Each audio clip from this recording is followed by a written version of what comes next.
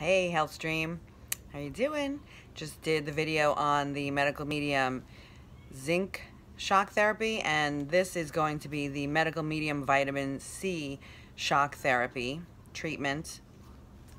You can find his information on medicalmedium.com for more specific information and to see the brands of vitamins that he recommends. I used, actually, this is I just saw this when I went to the deli to get some juice and coconut water. Emergen-C, 1,000 milligrams of vitamin C. But he's recommending much more than that. So he recommends two 500 milligram capsules of Micro C. So I think that might be the brand.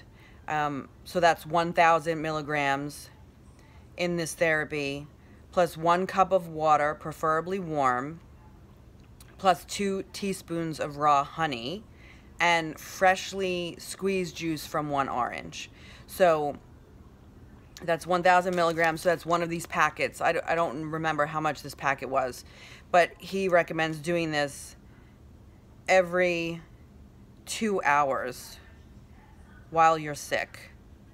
So every two hours during waking hours, you can do this for two days and then switch to a regular dosage of vitamin C or continue to do it. There, you can't overdose on vitamin C. I think it's a water soluble vitamin, so it's not dangerous to take too much of it.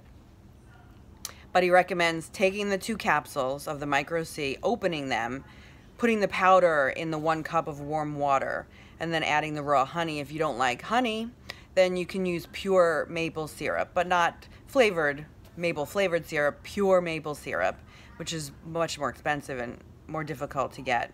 And then add the orange juice. If you don't like orange juice, you can use freshly squeezed lemon or lime juice.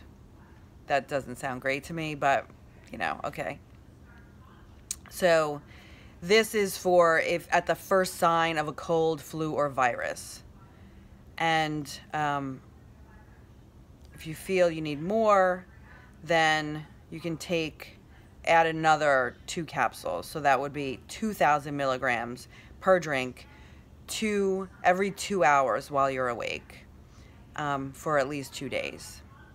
Again, you can find the supplements that he recommends and more specific information on his website, medicalmedium.com.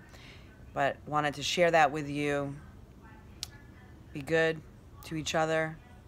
Be good to yourself. Be safe. Peace out.